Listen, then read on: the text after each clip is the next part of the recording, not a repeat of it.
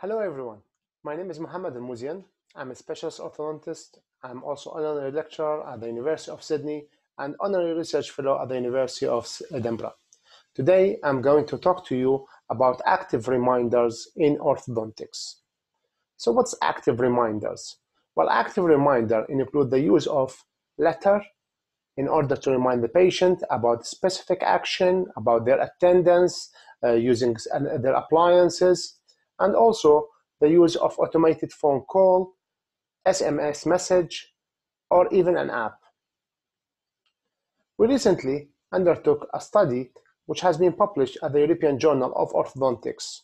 In this study, we tried to answer the question whether the use of reminders improve oral hygiene and adherence to orthodontic appointments, as well as improve other outcome during orthodontic treatments. So what we did? Well, first of all, we registered our systematic review with the Prospero, and we follow a Cochrane guidelines, and we set specific eligibility criteria for the future included randomized controlled trials. According to hand and gray literature searching, as well as electronic database searching in one of the main electronic databases, we found that there is 523 study which could meet our eligibility criteria. However, after full text uh, ex examination of these RCTs or these studies, we found that there is only 14 RCTs met our strict eligibility criteria.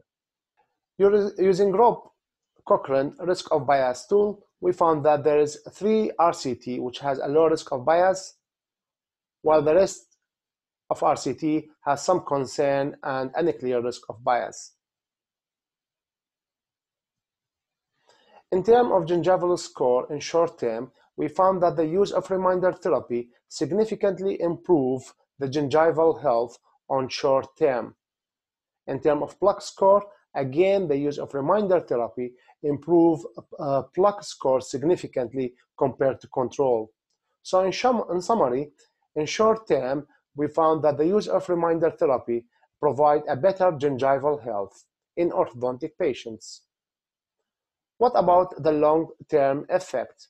Similarly, we found that the plaque score significantly less in the reminder therapy group, and also the gingival score was significantly better than those who have uh, no reminder therapy. So in summary, we found that there is a better gingival health on long term in those who have been treated or who have been included in the intervention arm of the study, which mean the use of reminder therapies.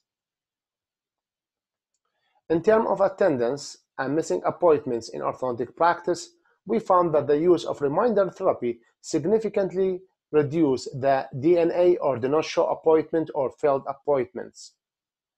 Hence, the use of reminder therapy will improve the uh, patient attendance in orthodontic practices.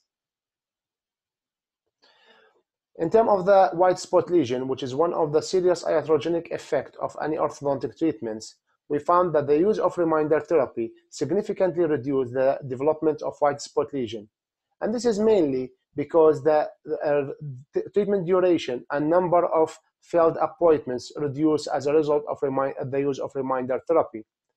So in conclusion, we found that the use of reminder therapy will reduce the risk of development of white spot lesions. We couldn't undertook a meta-analysis to assess the effect of reminder therapy on total treatment duration. However, one of the included RCT found that the use of reminder therapy uh, reduced the, the treatment duration by around seven weeks, which is almost two months. And also the bracket failure uh, rate was actually 4% less in the reminder therapy compared to control. And this is because, again, due to the uh, reduce, uh, rate of missing appointments and the close observation of the patient's treatment progress.